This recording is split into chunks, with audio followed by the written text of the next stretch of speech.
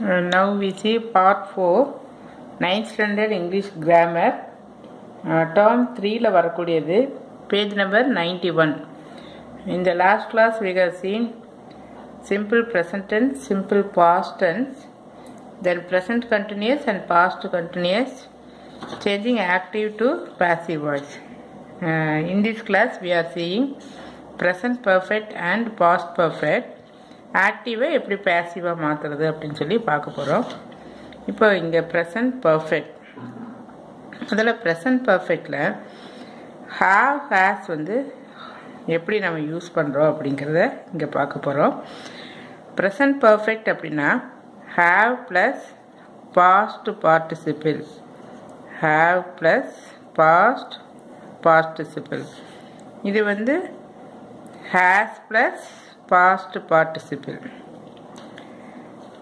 இது வந்து this gives present perfect present perfect இதுவும் ப்ரெசன்ட் பர்ஃபெக்ட் தான். ஃபார்மேஷன் மட்டும்தான் வேறு.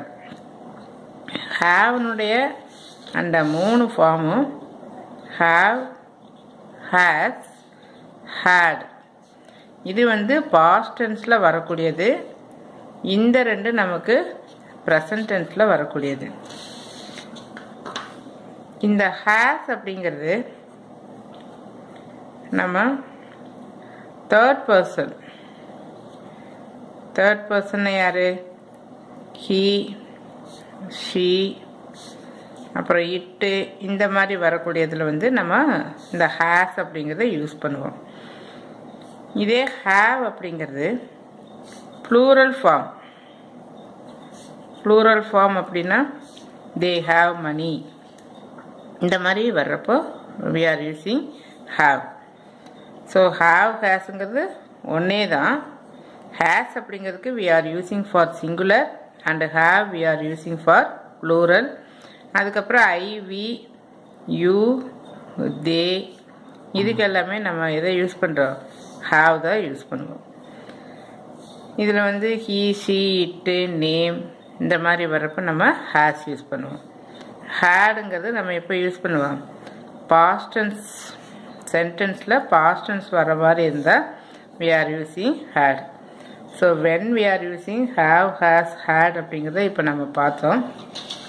இதில் ப்ரெசன்ட் பர்ஃபெக்ட்னா என்ன சொல்லியிருக்கிறேன் ஹாவ் ப்ளஸ் பாஸ்ட் பார்ட்டிசிபிள் இந்த ரெண்டே கம்பைன் பண்ணால் present perfect has plus past participle இதை கம்பைன் பண்ணால் past perfect sorry present perfect had plus இதே பாஸ்ட் பார்ட்டிசிபிள் இதை கம்பைன் பண்ணோம்னா past perfect you are using past perfect அப்படின்னு சொல்லி சொல்கிறோம் இப்போ நமக்கு வந்து சப்போஸ் இது ஒரு உதாரணம் கொடுக்குறேன். ஹாவ் ப்ளஸ் ஈட்டன் இந்த பாஸ்ட் பார்ட்டிசிபிள் அப்படின்னா என்னென்னா ஈட் ஏட் ஈட்டன் இது verb V one V two V three இது வந்து ப்ரெசன்ட் டென்ஸ் இது பாஸ்ட் டென்ஸ் இதுதான் நமக்கு பாஸ்ட் பார்ட்டிசிபிள் இங்கே ஸ்பெல்லிங் இங்கே எழுதியிருக்க பாஸ்ட் பார்ட்டிசிபிள் இதை நம்ம வி த்ரீ அப்படின்னு இன்ஷார்ட்டாகவும் சொல்லலாம். ஸோ இந்த பாஸ்ட் பார்ட்டிசிபிளும் இந்த ஹேவும் கம்பைன் பண்ணி ஈட்டுங்கிறது என்ன? பாஸ்ட் பார்ட்டிசிபிள் வரக்கூடிய அந்த ஃபார்மேஷன் தான் நம்ம என்னன்னு சொல்கிறோம் ப்ரெசண்ட் பர்ஃபெக்ட் அப்படின்னு சொல்லி சொல்கிறோம் இதுலேயே நமக்கு இப்படியும் எழுதலாம். Has plus eaten he has eaten இதுவும் எதை நம்ம குறிக்குது? ப்ரெசண்ட் பர்ஃபெக்ட் இதுவே ஹேட் ஈட்டன் இந்த மாதிரி வந்ததுன்னா we are using this as past perfect we name this as past perfect இப்போ ப்ரெசன்ட் பர்ஃபெக்ட்னா என்ன? பாஸ்ட் பர்ஃபெக்ட்னா என்ன? தென் அதை வந்து நம்ம சொல்லிட்டோம். ஆக்டிவ் வாய்ஸில் அதை நம்ம எப்படி கொண்டு வர்றோம்? அப்படின்னா இப்போ ஆக்டிவ் வாய்ஸ்னால் ஏற்கனவே சொல்லியிருக்கிற செய்வினை. நம்மளாவே ஒரு செயலை செய்தல். செயல் வந்து சப்ஜெக்டால் செய்யப்படுவது. டோயர் அது போன கிளாஸ்லேயே நம்ம பார்த்துட்டோம். இதுக்கு நம்ம ஒரு எக்ஸாம்பிள் நம்ம புக்கில் இருக்கிற எக்ஸாம்பிளே கொடுக்கலாம். ப்ரெசன்ட் பர்ஃபெக்ட்டுக்கு என்ன கொடுத்துருக்கு?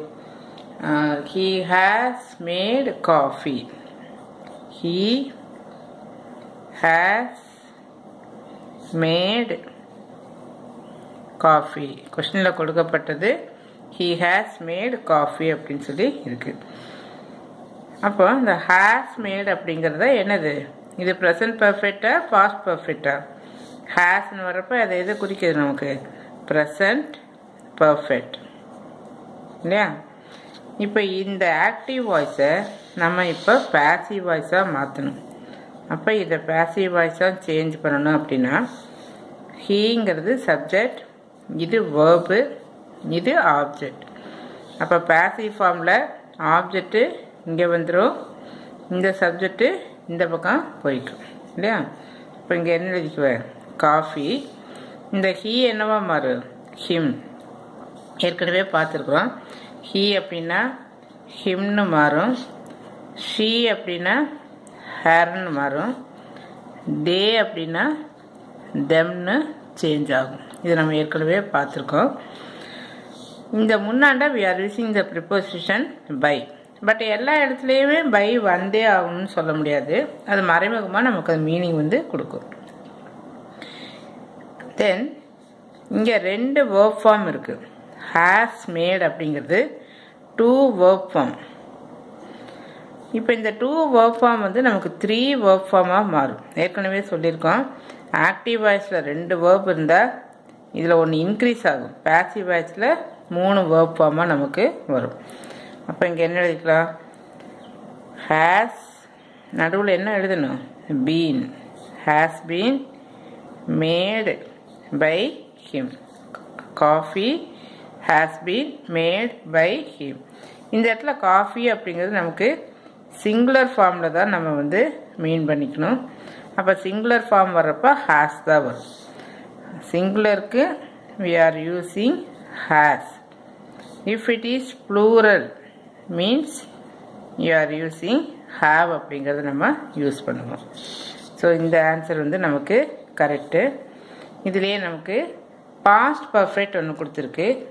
அதில் ஒரு சென்டென்ஸ் நம்ம பார்த்துக்கலாம்.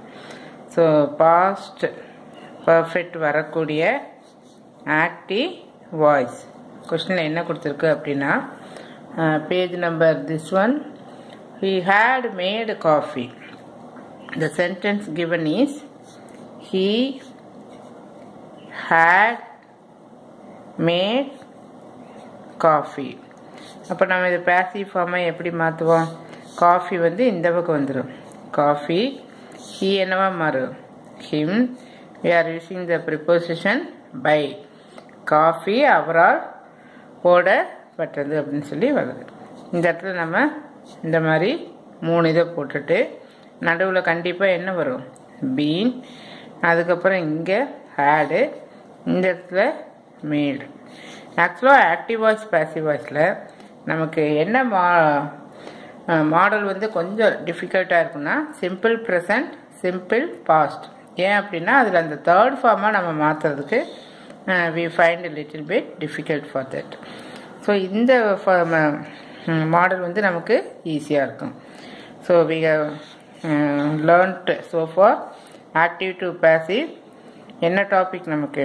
ப்ரெசன்ட் பர்ஃபெக்ட் பாஸ்ட் பர்ஃபெக்ட் இந்த ரெண்டும் வந்து கொடுத்துருந்தா எந்த மாதிரி நம்ம மாற்றலாம் அப்படிங்கிறத இப்போ பார்த்தோம். தேங்க்யூ